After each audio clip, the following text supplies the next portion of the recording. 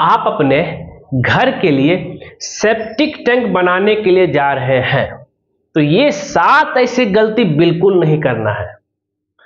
अगर ये सात ऐसे गलती करेंगे, हो सकता है कि आपका घर धस जाए।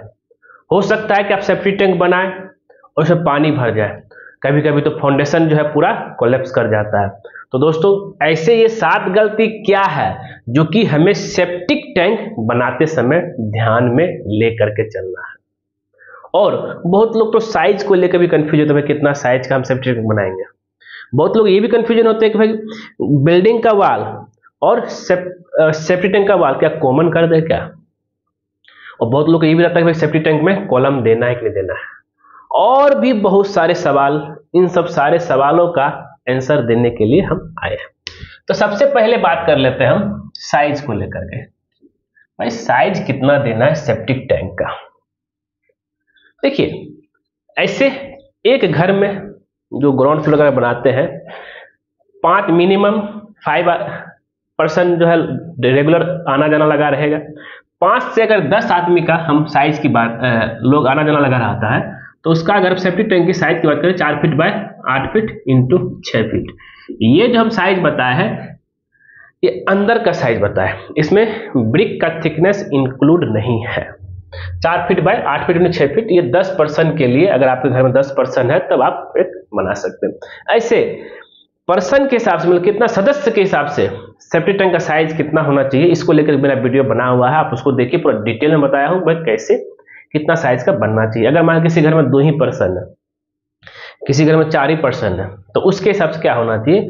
और ये हर, ये अगर ये बना लेंगे तो हर एक आपको जो है दो साल लगेगा इसको भरने में और दो साल के बाद इसको आप खाली करवा सकते हैं। तो साइज़ को लेकर के क्लियर हो गए होंगे।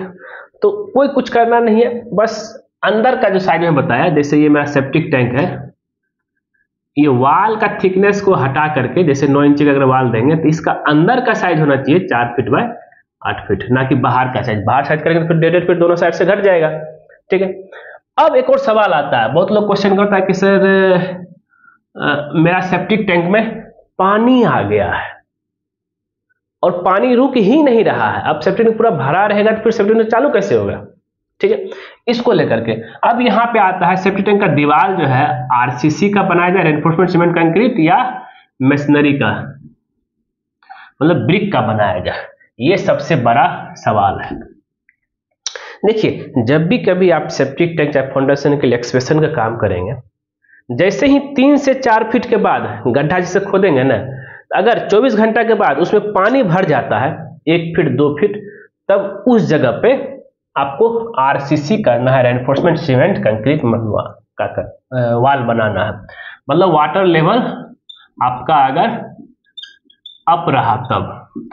अगर हम एक्सप्रेशन का काम कर रहे हैं वहाँ वाटर लेवल बहुत डेप्थ है पाँच फीट दस फीट एक्सप्रेशन कर लिए तब भी जब मेरा पानी नहीं आ रहा है मतलब मिट्टी गीला नहीं पूरा सूखा सूखा है तब यहाँ पे आपका ब्रिक का करना है। याद रखिएगा। ब्रिक में समझ करेंगे जब वाटर लेवल आपका डाउन रहेगा। ठीक है? डाउन में अगर आपका बात करते हैं, दस फीट लेके चलिए।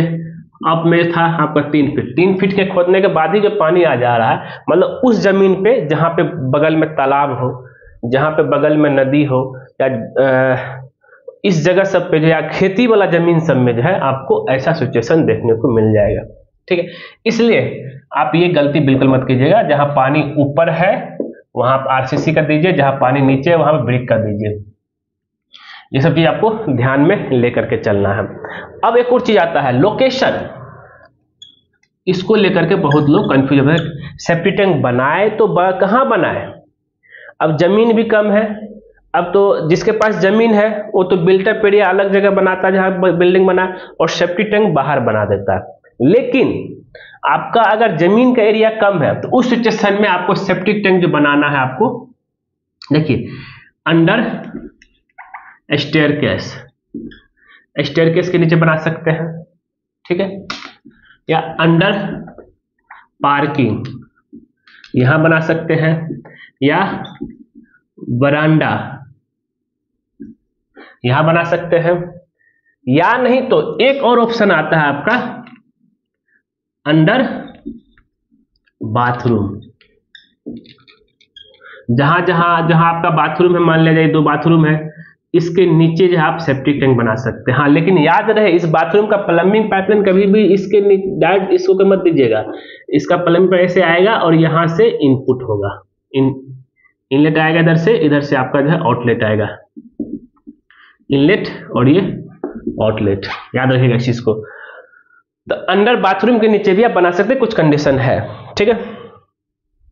अब, चौथा पॉइंट हम इसी बात पे डिस्कशन करेंगे कि इफ़ अंडर बाथरूम बनाना है तो। अब बहुत लोग क्या करते हैं बाथरूम के नीचे ही जो है सेप्टिक टैंक बना देते हैं। और मिस्त्री लोग क्या आइडिया देगा, भाई यहाँ पे पेन बैठा लीजिए और इसके नीचे छत को होल करके डायरेक्ट जो है आप पाइपलाइन पाइप लगा दीजिए आपको एक्स्ट्रा खर्चा करने की ज़रूरत नहीं है। लेकिन इससे क्या दिक्कत होता है कि इसका स्मेल जो है, इस पेन होते हुए पूरा बाथरूम में महकता पूरा गंदा महकेगा। अब मेरे पास बहुत सारे मैसेजेस कॉल आते हैं कि, सर, मेरा मिस्त्री जो है सेफ्टी टैंक सेफ्टी टैंक बनाए थे बाथरूम के नीचे और उसके छत होकर के ही जो है प्लम्बिंग पाइपलाइन लेकर चला गया। उसके वजह से जो पूरा बाथरूम हमेशा महकते रहता है। चाहे कितना एग्जॉस्ट लगाइए, कोई फ़र्क नहीं पड़ेगा। तो इसलिए इसका डायरेक्ट कभी नहीं देना है, हमेशा इस होकर के जाएगा। याद रखिएगा हमेशा। साइड से जाना है। इनलेट गया, फिर आउटलेट आपका चला जाएगा, ठीक है? अब एक सबसे बड़ी प्रॉब्लम जो आती है, वो है फाउंडेशन डेप्थ को लेकर के। कभी कभी क्या होता है, जब हम लोग सेफ्टी टैंक घर के अंदर बनाते हैं ना तो उस सिचुएशन में जैसे मान लिया जाए कि ये मेरा सेप्टिक टैंक यहाँ मेरा बनाने वाला हूँ। ठीक है? लेकिन क्यों चाहता है? कुछ सिचुएशन में कि यहाँ पे पहले से जो है कॉलम का फाउंडेशन बना रहा था। कॉलम यहाँ है और इस चीज़ से कम से कम दो कॉलम आपका जो है फाउंडेशन में आया था। मतलब अगर आपको टॉप व्यू देखेंगे तो कुछ इस तरीके से आपको जो है सेप्टिक टैंक के बेस में आपको फाउंडेशन दिखेगा। और कभी भी अगर मान लिया जाए, ये आपका सेप्टिक टैंक का बेस हो गया। और अगर डेप्थ मिला, ज़्यादा लेने के चक्कर में तो इसको, इसी को बेस बना देता है और फाउंडेशन दिखता है। और अगर फाउंडेशन दिखता है तो बिल्कुल जो है खतरनाक आपका बिल्डिंग के लिए, क्योंकि पानी यहाँ पे रहेगा तो हो सकता है कि कोलेप्स भी करने का चांस होता है। तो इस सिचुएशन में क्या करना है कि अगर मुझे पता है कि सेफ्टी टैंक हम कहाँ बनाने वाले हैं। तो इस सेप्टिक टैंक का जो है, कभी भी जो है बेस नीचे नहीं लेना, हमेशा जो है ऊपर लेकर चलना है। याद रहना चाहिए। तो इट मीन क्या होगा कि भाई, कि आपको सेप्टिक कॉलम का फाउंडेशन नीचे लेकर चले जाना ध्यान रखिएगा। ठीक है? अगर मान लिया जाए, एक और चीज़ ध्यान रखिएगा। कम से कम ये जो है मेरा पाँच फीट आना चाहिए, कौन सा डीपीसी लेवल उसके हिसाब से ये कम से कम आपका जो है ये डेप्थ रहेगा आपका, और ये डेप्थ आपका दो से तीन फीट लेकर चलना। ठीक है? कभी भी ये बेस मत लीजिएगा। इससे जो है कॉलम को भी हानि होगा। और एक और चीज़ ध्यान लेकर चलना है कि एक ये चीज़ हो गया, एक क्वेश्चन आया था मेरे पास कि इसका वाल बिल्डिंग एंड सेप्टिक टैंक वाल को लेकर के। भाई, इसका क्या करें? कभी कभी क्या होता है कि भाई, यहाँ कॉलम है तो बिल्डिंग का वाल भी सेम रख देता है।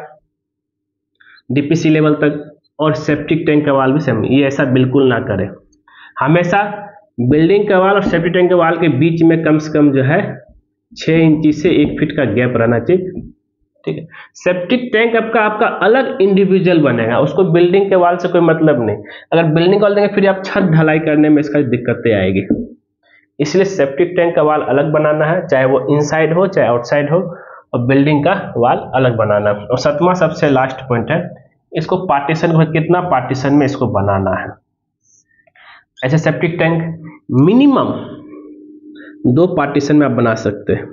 एक और एक और दो। ठीक है? जिसमें जो है इनलेट जाएगा पानी इधर से आउटलेट इधर चला जाएगा। अब मैक्सिमम ये हम आपको टॉप व्यू दिखा रहे हैं। मैक्सिमम जो है, और इसको जो है कम से कम एक से दो साल भरने में लगेगा। और इसमें सिर्फ़ बाथरूम का पानी जाना है। और मैक्स, अगर आप सेफ्टी टैंक तीन भाग में बनाते हैं और ये वाला भाग को प्लास्टर नहीं करते हैं, ठीक है? इसको जो है, इस ब्रिक में होल होल छोड़ देते हैं। मतलब एक तरह से सोकपिट का काम करेगा, ठीक है? उस सिचुएशन में जो इनलेट पानी आएगा, इस होकर के नीचे तो इसमें भरेगा और यहाँ से ओवरफ्लो पानी इधर जाएगा और इसको सोखते रहेगा। तो इसको भरने में आपका जो है, ये तो टाइम टू नहीं बता पाएँगे। जितना सोख कर सकता है, अगर एक ऑन एन एवरेज बताया तो पाँच से दस साल आपको लगेगा इसको भरने में। ये वाला सेप्टिक टैंक को ये जो है 102 साल में भर जाएगा, फिर इसको खाली करना पड़ेगा।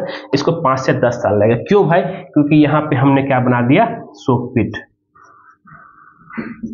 तो तीन पार्टीशन करेंगे सेफ्टी टैंक का तो आपको बहुत फ़ायदा रहेगा। तो पार्टीशन ऑफ़ सेप्टिक टैंक तो इस चीज़ को ध्यान में लग चलना है। उम्मीद करते हैं दोस्तों, ये बहुत ही इम्पोर्टेंट जानकारी है उन सब, उन सभी के लिए जो सेफ्टी टैंक बना रहे हैं। और आप इस तरह से गलती ना करेंगे और सावधान रहिएगा। और अगर ये वीडियो पसंद है ज़रूर उसको जो लाइक कीजिए शेयर कीजिए कमेंट कीजिए खास करके हमारे चैनल को सब्सक्राइब कर दीजिए। क्योंकि जैसे ही आप हमारे चैनल सब्सक्राइब करें, उसके बगल में बेल आइकन बन जाए उसको क्लिक कर दे उससे बेनिफिट बस ये होता है। जब जब सिविल इंजीनियरिंग पकमर को नया वीडियो आपके लिए लेकर आएगा, सबसे पहले आपके नोटिफिकेशन में देखेगा वीडियो देखने के लिए धन्यवाद दोस्तों।